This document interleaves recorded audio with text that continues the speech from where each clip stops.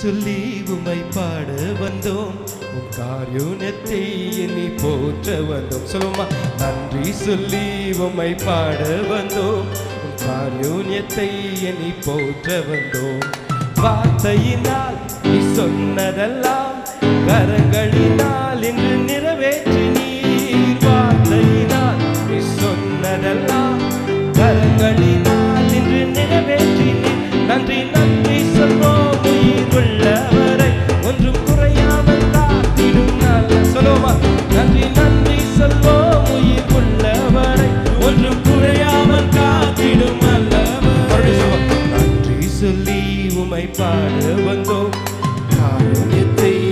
போற்றவன். சொல்லுங்க. நன்றி சொல்லி உமை பாட வந்தோம் நாயுன்யத்தை எண்ணி போற்ற வந்தோம் வார்த்தையில்